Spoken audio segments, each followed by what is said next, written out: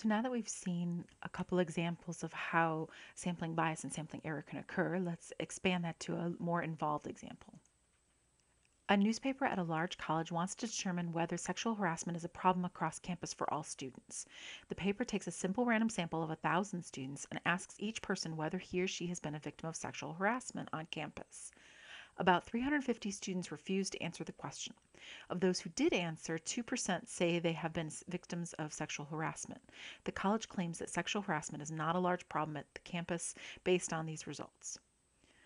All right, so let's back up for a second and ask ourselves is the purpose of doing this study descriptive or inferential, explaining the context of the situation? Well, it's been a while since we've looked at those, but descriptive statistics, if you remember, is just describing what is occurring. So ch- charts, tables, averages, percentages. Those are descriptive statistics. They're numbers and tables that um, measure what is occurring and kind of organize it in a way that's easy to understand. Inferential is when you want to try to take what you've learned from your sample and apply it to a larger group. And that's obviously what's happening in this particular case. So this is inferential because the college wants to figure out what's going on for the whole campus, not just the 1,000 students that they had in their random sample. So let me type that up. There we go. And the key to this, of course, is the college claiming, right? College claims that sexual harassment is not a problem, large problem on campus based on these results. So they're making an inference about the whole campus based on these results. That totally makes it inferential, right?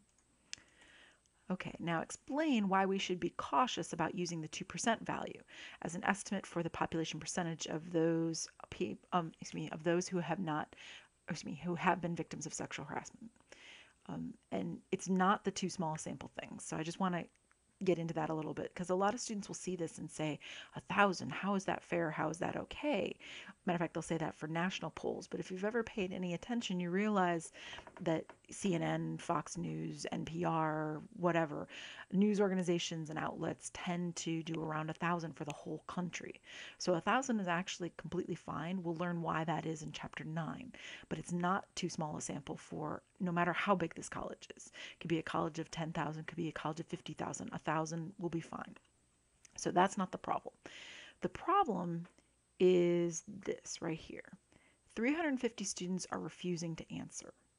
That is non-response bias, right? So you have a whole group of students that are refusing to answer the question. Maybe they don't feel safe answering the question, maybe they just don't care, maybe whatever. We don't know.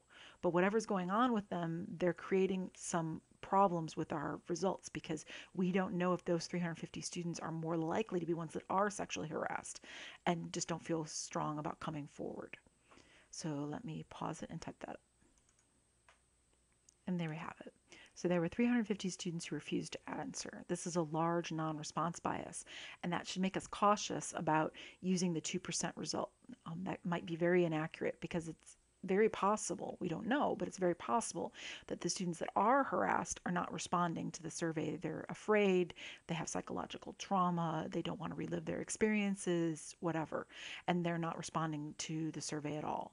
And that's creating problems for our results.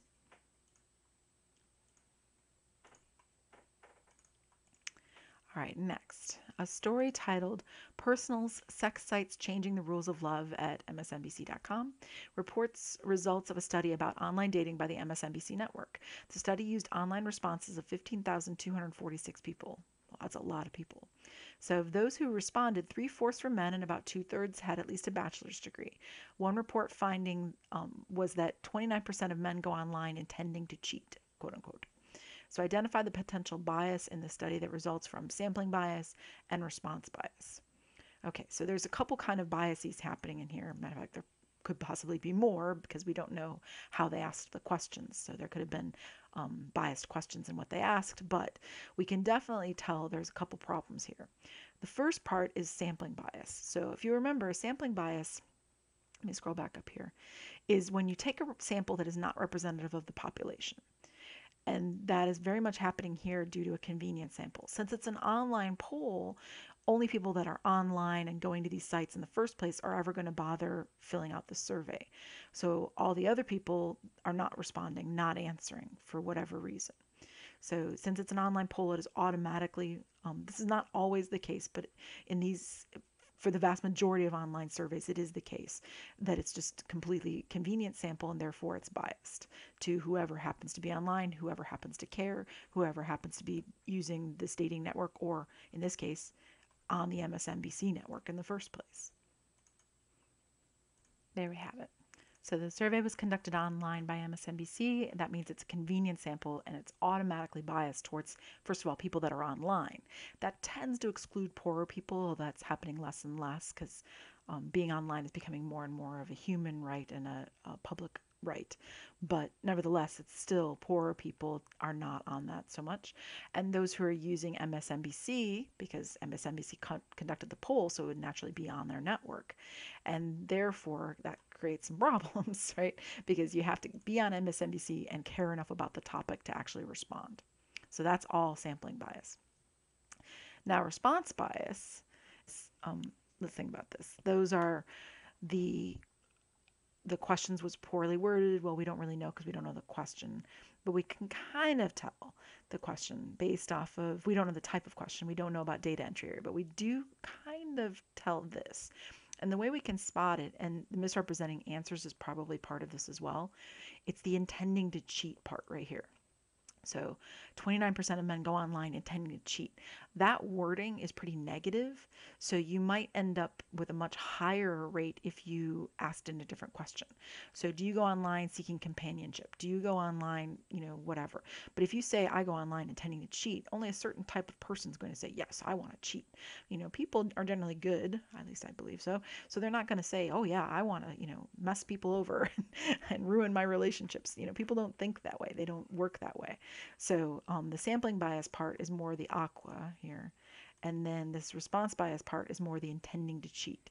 So you can tell by the way that they phrase that, that that's kind of a negative thing. So I'm, I'm, I'll type that up one second. There we have it. So the phrase, quote, intending to cheat, end quote, is a very negative phrase. And so very few people are likely to select that as an answer. That could be why um, there's the result of only 29% of men selecting yes to that. I threw in the word only because that's a pretty low number if you're talking about online dating sites. Remember, this is the context of online dating. It's not just going online in general to Google something, right? So it's going to online um, to those dating sites.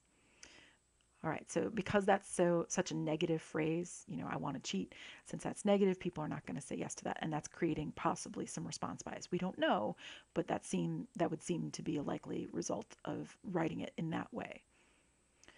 So just on a little side note um, before we leave this section behind, so polls where the sample is taken in a biased way, such as in this last example, which did come from MSNBC, um, they are called unscientific by media. So you'll hear um, people on news or people on your podcast or whatever say, you know, we had an unscientific poll and it result the results were blah. And quite frankly, once you hear the words unscientific, you should just stop listening because they are statistically worthless. Um, there's no reason to do them other than for the people that are touting them on whatever talking head show you happen to be watching um, to have something to talk about because the 24 7 news cycle means they always have to have something, some hype growing up. So they will create these polls and then have people talk about them forever on their morning shows. Um, it's not just the media, but of course the media is particularly egregious about this. But it happens all over the place. So politicians saying, you know, you know, 87% of my supporters believe blah. Well, yeah, but how did you conduct that poll? Because if you did it in an unscientific way, which quite frankly a lot of them do in order to get the results that they want so that they can talk about them, then it's all garbage and for a seven minute little quick radio article um, about how stupid polls like this are, and matter of fact, they use the words, these polls are stupid, then um, I recommend clicking on this bit.ly link and just listening to the seven minute um, radio article by On the Media from National Public Radio. They get very upset about it for good reason because um, the news media in particular is very bad about using these kinds of polls to talk about them as if they have meaning and when they really don't. And that can be, quite frankly, dangerous. It's one thing when you're talking about, you know, oh, how crazy is this pop star or whatever, you know. Um, it's meaningless, but it's relatively harmless. But the thing is, it bleeds into things that do have meaning, and when people don't know the difference and can't suss out which are good polls which are bad polls, that can create a dangerous situation for all of us. Um, all right, so we are done with section 1.5. I'll see you back here for more lectures.